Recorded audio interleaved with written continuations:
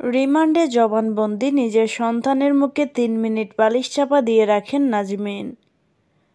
নুসরাত জাহান সাবিহা, বয়স ছিল মাত্র সতেরো মাস। কিন্তু সে জানত না বুধশক্তি হওয়ার আগেই নিজের মায়ের হাতে উড়ে যাবে তার প্রাণবায়ু। নিজের গর্বে ধরা এই সন্তানকে নিজ হাতে বালিশ চাপা দিয়ে শ্বাসরোধ করেন পাষণ্ড নাজমিন জাহান।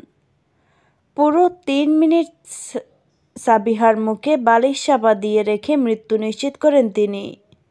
পুলিশের দ্বিতীয় দফা জিজ্ঞাসাবাদে স্বীকারোক্তিমূলক জবানবন্দিতে এ তথ্য দেন নাজমিন।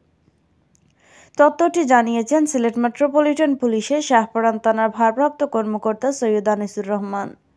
তিনি জানান, গত বৃহস্পতিবার নাজমিনকে আদালতে প্রেরণ করে পাঁচ দিনের রিমান্ডের আবেদন করে পুলিশ।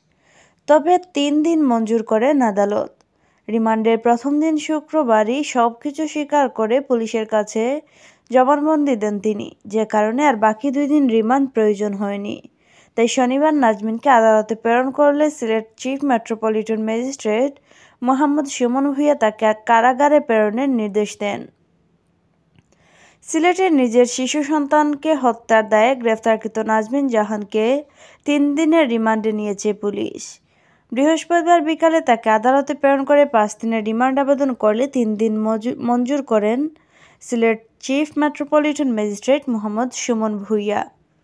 স্বামীর প্রতি ক্ষোভ ও নানা অভিযোগ ছিল সিলেটের গোলাপগঞ্জ উপজেলার দক্ষিণ বাদেপাশা ইউনিয়নের কালীকৃষ্ণপুর গ্রামের মোহাম্মদ জিয়াউদ্দিনের মেয়ে নাজমিনের। স্বামীর কাছ থেকে অযত্ন, অবহেলা আর অপবাদ পাওয়ার অভিযোগ তার। সে খুব উগরে দেন নিজের সতেরো মাস বয়সী শিশু সন্তান নুসরাত জাহান সাবিহার উপর। গত বুধবার বেলা দুইটার দিকে সাবিহাকে বালিশ চাপা দিয়ে শ্বাসরোধ করে হত্যা করেন তিনি।